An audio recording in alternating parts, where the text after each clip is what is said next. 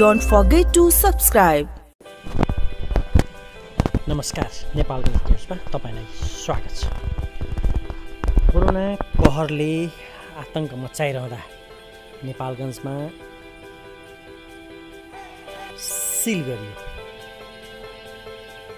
नेपालगञ्जको सिलको अवस्था निषेधाज्ञा हुँदै एरिया सिलसम्म पुगेको अवस्थामा त्रिभुवन चोक सदर लाइन क्षेत्रको पछिल्लो दृश्य यस्तो छ।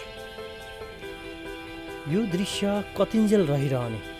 यसरी सडकमा सेना र प्रहरीको सुरक्षाले मात्रै कोरोनासँग लड्न सकिँदैन जुझ्न सकिँदैन। तपाईँ हामी नेपालगञ्जवासी बाँकेवासी आम नेपाली नागरिकमा कोरोना भाइरस विरुद्धको सचेतना आवश्यक छ र उच्च सतर्कता आवश्यक छ भनेर नेपालगञ्जले पटक पटक भन्दै आइरहेको छ।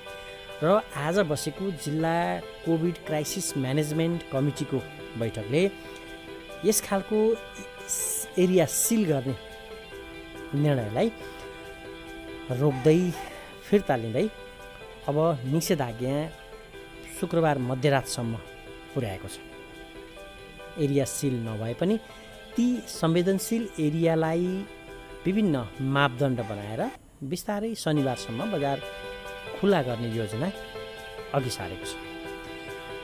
तर फेरि पनि नेपालगञ्ज न्युज भन्छ आज मात्रै छब्बिसजना भाइरस सङ्क्रमण पुष्टि भएका कोरोना भाइरस पुष्टि भएका नयाँ बिरामी थपिएका छन्।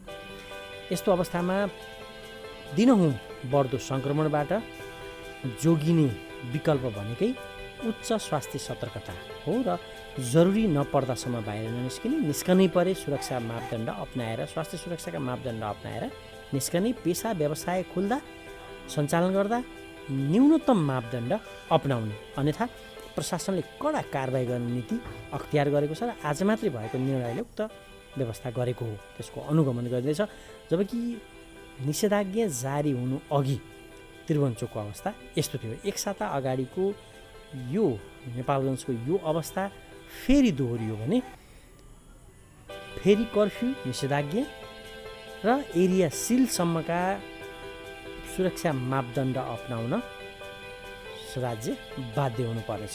अत यस खालको अराजकतालाई अब नबिर्सेसम्म हामी कोरोनासँग लड्न जुझ्न भिड्न सक्दैनौँ। अत उच्च स्वास्थ्य सतर्कताका साथ जीवनयापन गर्ने बानी बसालौँ। नेपाल न्युजको रिपोर्ट